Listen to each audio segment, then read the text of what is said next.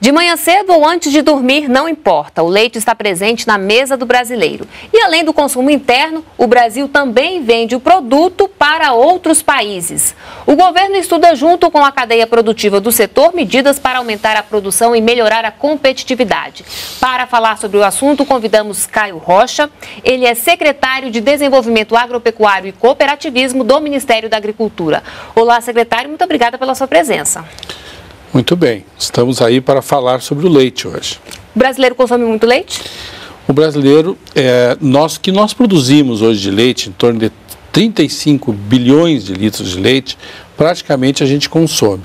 Isso dá menos de 200 litros de, por pessoa ano. Em torno de 170 litros é o consumo de leite por cada um dos brasileiros. E nosso leite também é apreciado lá fora? O nosso leite também é apreciado lá fora, é um leite de boa qualidade.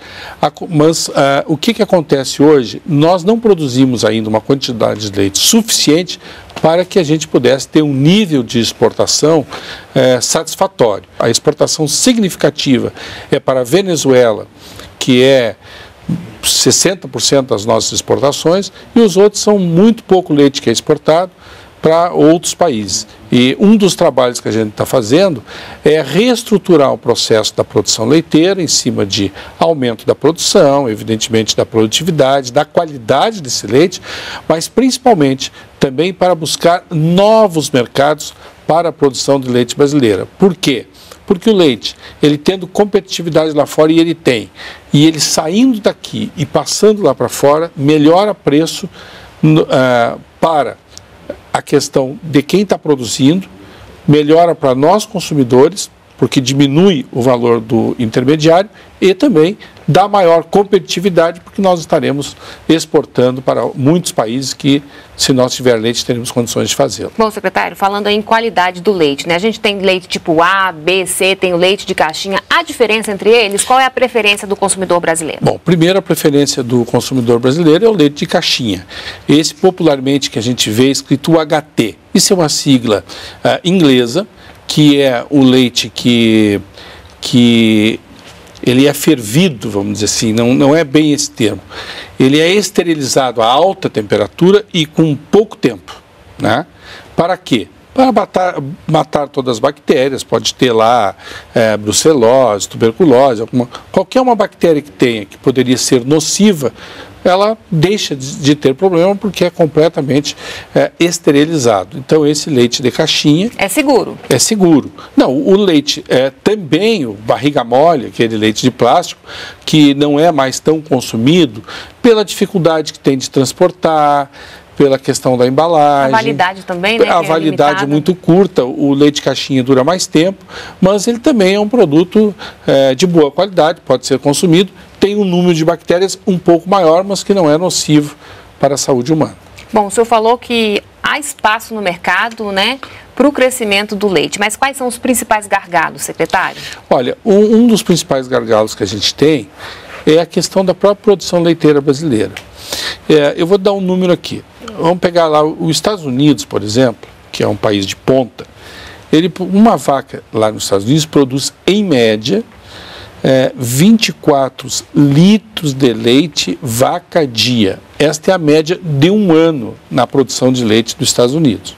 Se nós pegarmos lá a Argentina, esse número deve ser 17, 18 litros é, vaca dia. Aqui no Brasil, sabe que número é?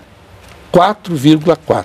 Então ele é um número muito baixo, nós podemos crescer muito, é, ampliar a, produ a, a produção de leite brasileira com tecnologias de baixo custo, de grande sustentabilidade e de alta competitividade. Então, este é um dos, dos programas que a gente traçou, é uma das metas, melhorar essa produtividade, e, e definimos o seguinte, 74% do leite brasileiro, ele é produzido em Minas Gerais, Goiás, Paraná, Rio Grande do Sul e Santa Catarina. Nesses cinco estados, produz 74% do leite brasileiro. O que, que nós queremos trabalhar? O Ministério da Agricultura quer coordenar um trabalho, vai coordenar um trabalho da cadeia produtiva, desde lá, dentro da porteira, da produção de leite, da questão da pastagem, do cuidado do pasto, da higiene com a vaca, da melhoria eh, do padrão genético desse animal, como também na questão do transporte, hoje que a gente não se preocupa muito, mas para quê? Porque que, o, o, o, o transportador, o homem do caminhão ou a mulher do caminhão, é quem vai à propriedade todo dia e tem, na verdade, o contato com o produtor de leite. E este, ele serve de fiscal. Esse tem que estar conscientizado. Saber que o leite que ele tem que estar transportando é, tem que ter 5 graus centígrados, quais são as condições de armazenagem, quais são as condições de higiene. E o outro passo feito isso é a própria indústria, servidores da indústria, funcionários que trabalham lá, como é que é o melhor manuseio desse leite. E terceiro é o leite que vai lá para a prateleira do supermercado, no manejo e esclarecimento do consumidor. Então, nós queremos trabalhar com a cadeia produtiva do leite.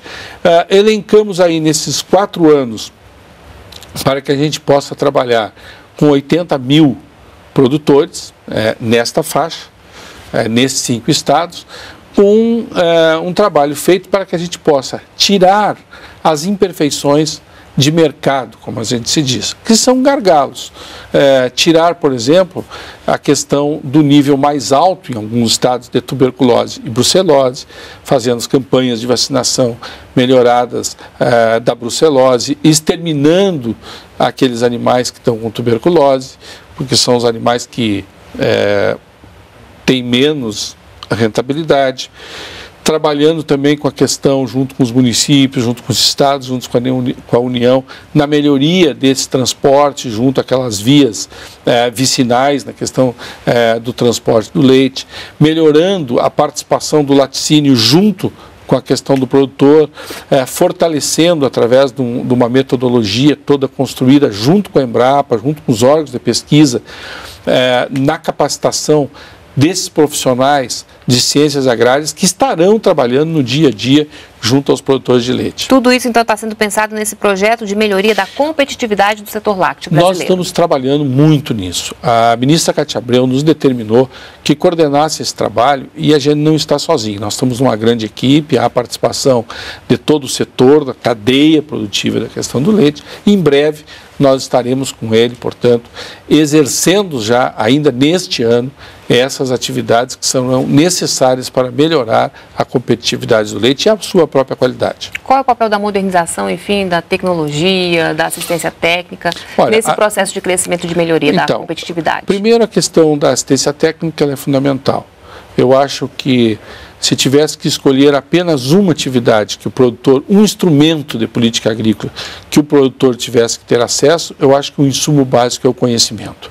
E a assistência técnica ela faz bem isso. Ela traz o conhecimento da pesquisa, não só traz, adequa junto com o produtor a sua uh, a, a, sua tecnologia adapta e produz, evidente, é, mais. Né? Então, a questão da assistência técnica, questão é, da apropriação dessa tecnologia, ela é fundamental é, em todo esse trabalho. Né? Em relação ao acesso ao crédito, né? Pois é, aí a questão da inovação que tu falaste. A inovação, ela já existe hoje dentro é, das atividades das linhas de crédito que nós temos para os produtores rurais, que são o acesso ao crédito àqueles que querem fazer a modernização, ou seja, um equipamento novo que ele quer comprar para a produção leiteira, um animal é, puro por cruza que está lá, que tem registro é, esta vaca, ou este boi, é, ou este touro, é, a questão é, de aquisição de instrumentos modernos na questão de equipamentos para tirar o leite, para transportar o leite, a melhoria do seu armazém, a melhoria do seu laticínio, tudo isto não tem uma taxa de juros igual ao comum, tem um valor diferenciado para que o produtor possa eh, modernizar as suas instalações, modernizar ah, o seu tratamento com a questão leiteira. Agora, secretário, volta e meia a gente acompanha né, no noticiário aí casos de leite adulterado, leite batizado, enfim. Essa questão também está dentro aí desse planejamento de vocês? Olha, o leite adulterado, leite batizado, nós entendemos que ele é um caso de polícia. Não é, não é uma questão da assistência técnica, não é um problema. Aí é ah, o Ministério da Agricultura cumprindo na sua atividade de bem-estar ao consumidor e garantia ao consumidor, fazendo seu trabalho de fiscalização. Evidentemente que quanto mais consciente tiver, quanto mais eh, nós tivermos juntos com o produtor, juntos com a indústria, junto com a cadeia produtiva, essas coisas tendem a diminuir. Bom, após implementado esse projeto, né, quanto tempo para começar a sentir os primeiros resultados? Eu acho que no primeiro ano que a gente começar, é, a agricultura ela é muito rápida, ela é uma indústria muito rápida. Em seis meses a gente começa a ter os primeiros, uh, os primeiros índices dif uh, diferenciais. Mas eu diria que nos, nos 12 meses subsequentes nós podemos fazer uma avaliação, um monitoramento para ver como é que está respondendo uh, todo este pacote tecnológico, não é um sistema que a gente use, é todo esse sistema de produção, quais são os resultados que eles estão nos dando. E o diferencial é que vocês estão ouvindo o setor, né, para poder elaborar tudo isso. Nós não podemos é, construir um programa dentro de um gabinete. Um programa ele tem que ser construído com a participação daqueles que o executam e daqueles que vivem o seu dia a dia por isso a participação da cadeia produtiva. Como é que você avalia o potencial do Brasil nesse mercado, tanto interno Olha, quanto externo? Nós queremos, eh, hoje nós exportamos apenas 1% do leite produzido. E nós queremos, ao final eh, dos próximos três anos, estar exportando 3%. Quer dizer, nós queremos multiplicar por 3 a questão das exportações do leite brasileiro, o que não é uma tarefa difícil, mas é extraordinária a repercussão que isso tem para o mercado interno e externo. Está no caminho certo?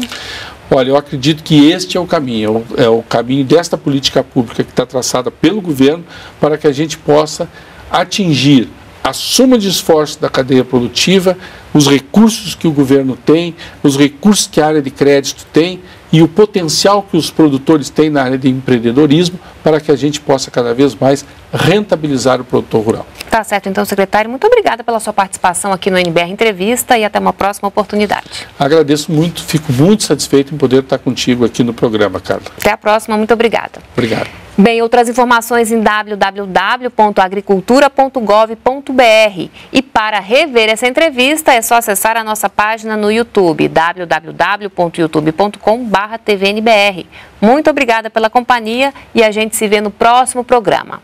Continue aqui na NBR, a TV do Governo Federal.